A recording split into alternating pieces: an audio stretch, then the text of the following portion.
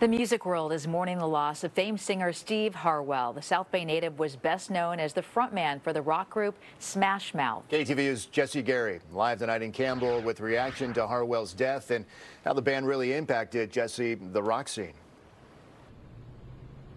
Hey guys, Steve Harwell died with family and friends at his bedside in Idaho. His music career, though, began here in Campbell at Soundtech Studios. Long before Smash Mouth reached mega success, he was remembered as a man with a very unique, big personality and a very unique voice. It wasn't especially in tune, wasn't like virtuoso. It just was unique. It was different.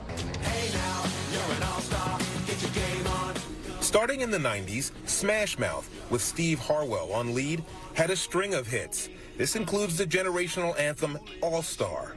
Music expert Dan Orloff says this sound was a one-of-a-kind cross between the Doors and the Rolling Stones. It was a fusion of pop, rock, and ska, and once again, another unique product out of San Jose.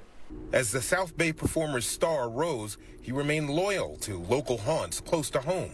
This includes Sushi Confidential and Campbell. The celebrity wall has multiple pictures of Harwell with owner Randy Musterer. He supported not only my restaurant, but a lot of uh, businesses here in downtown Campbell and Los Gatos.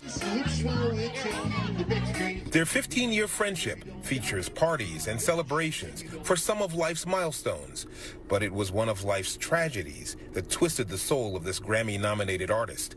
Decades ago, his young son died due to childhood leukemia if someone experiences something so harrowing as the loss of a child, they they often will seek to um, self-medicate through drugs or alcohol use. That hurt set Harwell on a path of abuse that published reports say led to liver failure. Some felt helpless.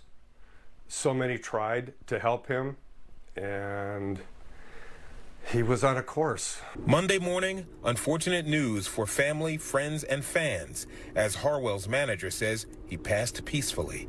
The collective sadness is tempered by the lasting impact the man and his music has had on so many lives. I've done a lot of crying um, and just going through my Facebook feed to see how many people he's touched. He definitely got through to a lot of people through his music. Harwell is survived by his fiancee and other family members. He was just 56 years old. We're live in Campbell this evening. Jesse Gary, KTVU, Fox 2 News. We'll head back to you. 56, yeah. Too young indeed. All right, Jesse, thank you.